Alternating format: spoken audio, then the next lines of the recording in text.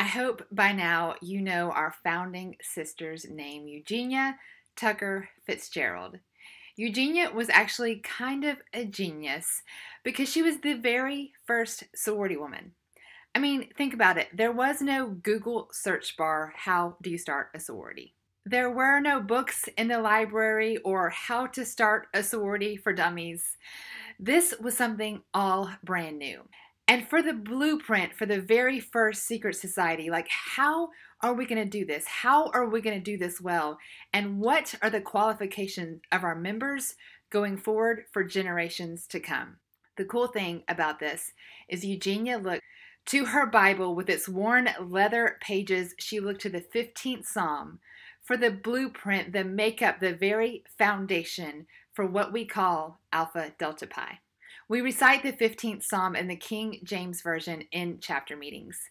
And I know when I was a college student, I had no idea what those words meant. I hope to unpack these for you today to put these in common language to help you understand the beautiful roots of why we stand as a sisterhood and what these words mean to characterize our members. Lord, who shall abide in thy tabernacle? That simply translates, Lord, who can be a part of this? When Eugenia was first forming this first secret society, she wanted to know, Lord, who can be a part? What are we looking for as characteristics for our members? And then it really just goes on to describe these characteristics. He that walketh uprightly and worketh righteousness, someone who lives free of blame and does good. He that backbiteth not with his tongue, or someone who doesn't harm others with their speech and doesn't harm others with insults or disrespect. Note, fear of the Lord does not mean to be afraid. I know when I was your age, this stood out to me, and I remember asking our chaplain at the time, What does it mean to be fearful of the Lord? Like, I, I didn't understand what that meant. But a truer translation, especially for modern day, means just respect and honor. That God is the leader of our steps, the leader of this organization of women, and the leader as we move forward. He that sweareth to his own hurt and changeth not someone who keeps their promises even when it hurts. He that putteth not out his money to usury, or someone who doesn't lend money with interest, someone who is generous.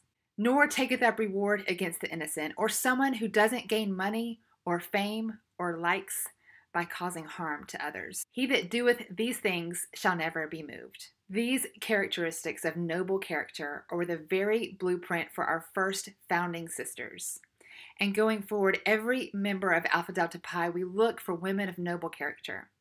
Women who are generous, who don't gossip, who love and truly sharpen each other. This was the dream of the very first sorority, and I do not believe we are too far gone. It's so important to remember our roots, to remember our founders. Did you know that Eugenia and the first five founders of our sorority later went on to either become missionaries or pastors' wives? These were women of great faith. These were women who held each other to a higher standard.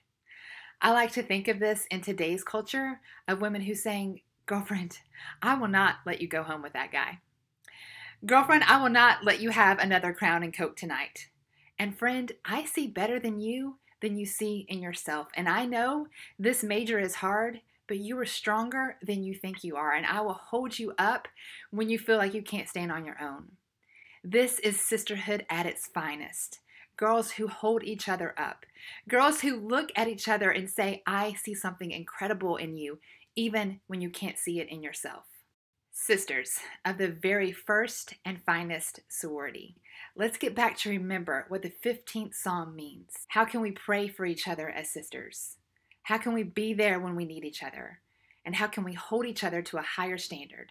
There's a great quote that says, Remembering where you've been helps you to know where you're going. Remembering our founders' dreams helps us know how to move forward. Going forward in recruitment, going forward in how we characterize ourselves as members. Knowing how our founders dreamed up this sisterhood will help us move forward correctly in the future.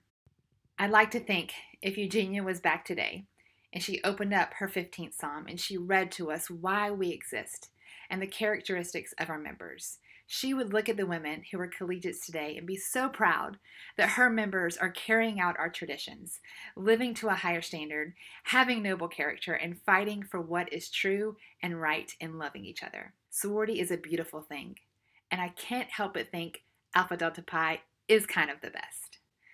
I encourage you to keep being the best, to keep striving for that incredible sisterhood, to keep sharpening each other, holding each other to a higher standard. Thank you for being the first and the finest.